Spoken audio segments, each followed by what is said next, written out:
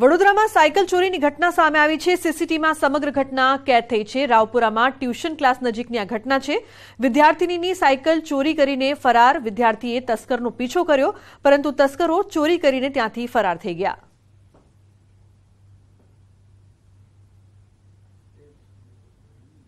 તો મહત્વનું છે કે સીસીટીવી દ્રશ્યો સામે આવ્યા જેમાં સાયકલ ચોરીની આ સમગ્ર ઘટના છે તે કેદ થઈ છે મહત્વનું છે કે વિદ્યાર્થી દ્વારા તેમનો પીછો પણ કરવામાં આવ્યો છતાં પણ જે ચોર છે તે ચાલાકીથી આ સાયકલ લઈને ત્યાંથી ફરાર થઈ ગયો હતો જો કે ચોરનો જે ચહેરો છે તે પણ સીસીટીવીમાં કેદ થઈ ગયો છે વિદ્યાર્થીએ આ તસ્કરનો પીછો પણ કર્યો હતો પરંતુ તેમાં તેને નિષ્ફળતા મળી જો કે પોલીસ દ્વારા આ મામલે વધુ તપાસ હાથ ધરાઈ રહી છે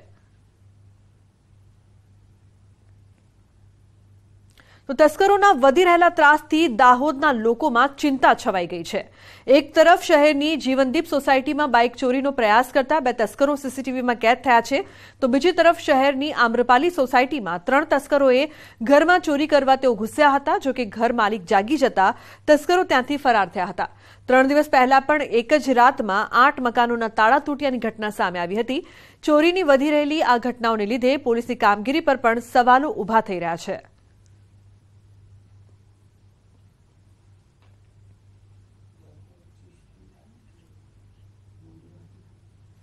ભરૂચના અંકલેશ્વર નેશનલ હાઈવે નંબર અડતાળીસ પર મોટો અકસ્માત સર્જાયો હતો ખરોડ નજીક રોડ ક્રોસ કરતા પશુઓના ટોળા સાથે ટ્રક અથડાયું હતું અકસ્માતમાં અનેક ભેંસોના મોત થયા છે જ્યારે કેટલાક પશુઓ પણ ઇજાગ્રસ્ત થયા છે એક સાથે ભેંસોનું મોત થતા પશુ માલિક પર દુઃખનો પહાડ તૂટ્યો છે અકસ્માત બાદ ટ્રક ચાલક વાહન મૂકીને ત્યાંથી ફરાર થયો હતો ઘટનાની જાણ થતાં પોલીસ સ્થળ પર દોડી આવી હતી અકસ્માત અંગે હાલ પોલીસે તપાસ હાથ ધરી છે